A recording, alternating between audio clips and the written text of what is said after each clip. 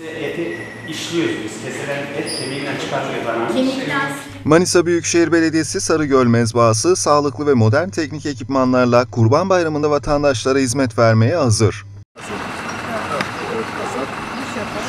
Manisa Büyükşehir Belediyesi Sağlık İşleri Dairesi Başkanı Mustafa Genç de Sarıgöl Mezbahası'na giderek Kurban Bayramı öncesi yapılan hazırlıkları yerinde inceledi.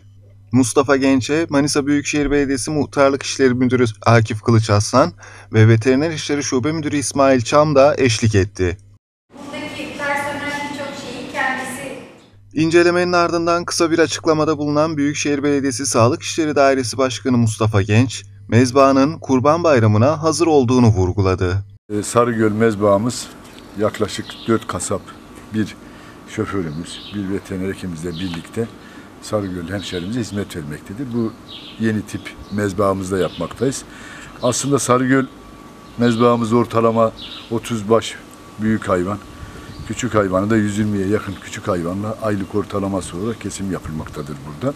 Hijyen ortamında, hijyenik ortamda yapılmaktadır. Tabii bu gezmemizin amacı, bugün buraları denetlememizin amacı da önümüzde Kurban Bayramı var. Kurban Bayramı'nda vatandaşlarımızın cadde ve sokaklarda kesimleri değil, gelip hijyenik ortamlarda ehil insanların elinde ve veteriner hekimlerimizin ve görevlilerimizin gözetimi altında kurbanlarını kesmeleri için e, mezbahımızı denetledik. Mezbahımızda bugün itibariyle çalışmayan hiçbir yeri yok.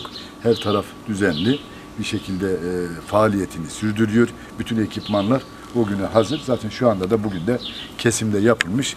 Burada e, Sarıgöl koordinatımız Afif Bey de zaten bu işi takip ediyor bildiğim kadarıyla. Bunların her birisini ayrı ayrı Büyükşehir Belediyesi olarak. Ben buradan çalışan arkadaşlarımıza da teşekkür ediyorum.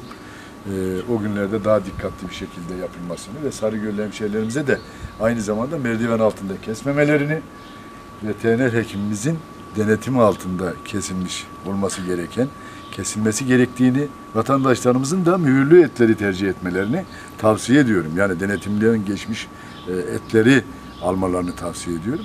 Burası e, 2017 Eylül ayından itibaren de Sarıgöl'de e, ilçemize hizmet vermektedir.